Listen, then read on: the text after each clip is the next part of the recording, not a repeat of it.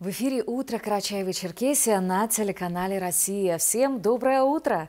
И начинаем новый день июля с погоды. В Карачаево-Черкесии местами кратковременный дождь и гроза, ночью в отдельных районах сильный.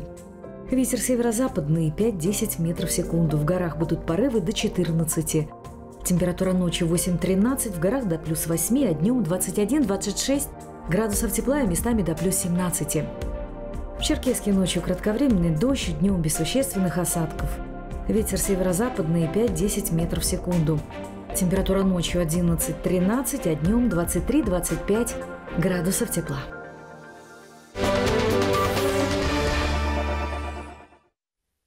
В Ингушетии в городе Магаз прошел всероссийский чемпионат по джиу-джитсу. Нашу республику на этих соревнованиях представлял единственный спортсмен Мурат Коготов, который привез сразу две золотые медали. И сегодня чемпион, гость нашей программы, с ним встретилась моя соведущая Белла Джазаева.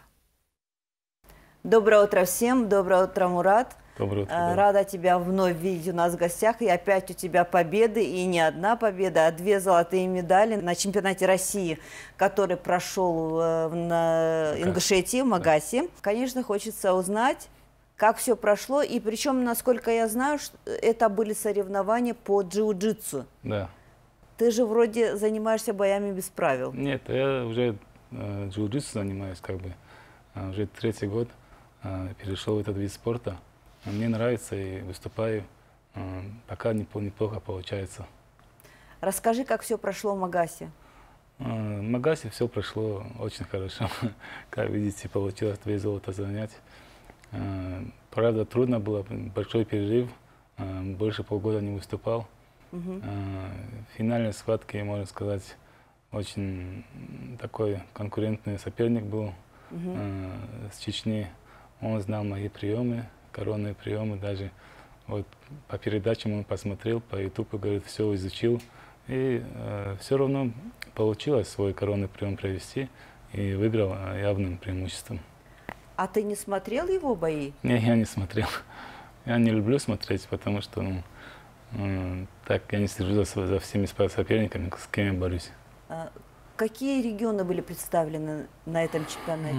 Можно сказать, очень много регионов нашей России. Со всей России участники были. Около двух тысяч участников там было.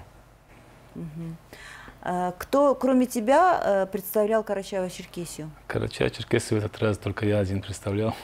Больше никто не поехал, кроме меня. Ну и хорошо, потому что ты э, за всех привез две золотые медали. Сейчас куда готовишься? Вот ты сказал о том, что ты делал большой перерыв, но я знаю, что ты сейчас на другие соревнования собираешься. Да, сейчас у нас э, самые основные соревнования. В ноябре будут э, чемпионат мира. Вот, будем готовиться на чемпионат Где мира. будут проходить? Э, сейчас будет проходить чемпионат мира в Москве.